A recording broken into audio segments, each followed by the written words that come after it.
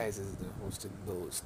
One more verdict I would be giving you is of LNT. This this guy has asked us the LNT verdict here. So I would be giving it to him the verdict. Thanks a lot. Stay tuned.